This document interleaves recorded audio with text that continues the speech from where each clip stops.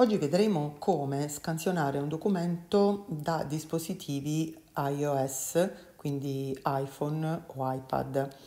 La scansione di un documento potrebbe essere utilissima, per esempio potremmo suggerire ai nostri studenti di inviarci compiti, non foto dei compiti, ma scansioni dei compiti, perché le foto sappiamo sono spesso difficili da leggere. Dunque, eh, per scansionare un documento qualsiasi, in questo caso scansionerò una pagina di libro, clicchiamo su, apriamo la app Note, ok? e ehm, creiamo una nuova nota, io l'ho già creata in questo caso, andiamo su macchina fotografica e quindi scansiona documenti.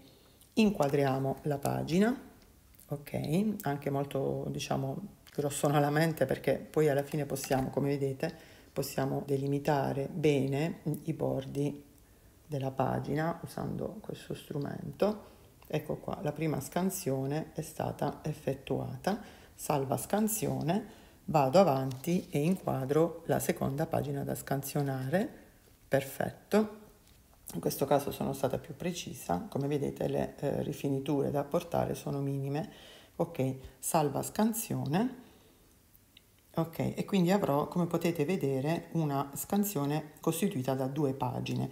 Se ho finito, salvo, il documento e avrò appunto un documento costituito da due pagine. Per condividere direttamente su Classroom, questa è la cosa comoda, è importante selezionare la scansione, ok, come potete vedere fatta da due pagine, e cliccare sulla icona della condivisione, andare a eh, selezionare Classroom e quindi a questo punto entrerà con il vostro account scolastico su Classroom, ecco qua, Adesso si è aperto il corso di italiano, ma io potrei anche scegliere uno di, dei corsi a cui sono iscritta o comunque dei quali sono, diciamo così, la responsabile. Spero che sia servito e condividete pure con libertà.